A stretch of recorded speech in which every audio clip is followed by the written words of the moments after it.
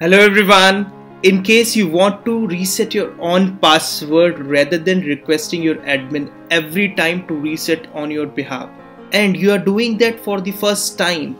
So the first thing which you have to do is you have to register your verification method info.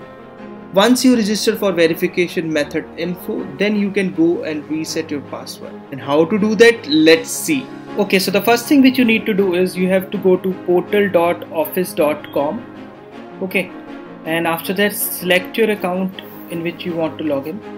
Here you have to put your login credentials. Okay make sure you are basically using your school id and your school password.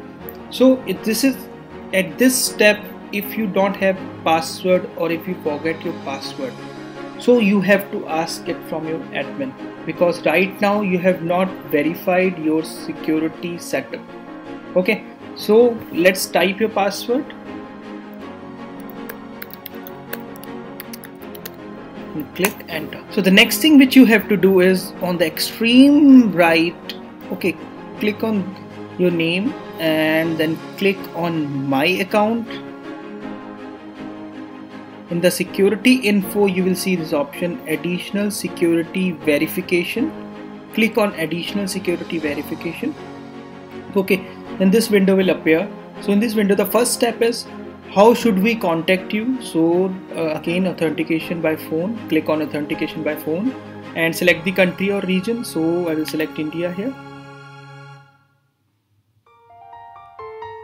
And write your registered number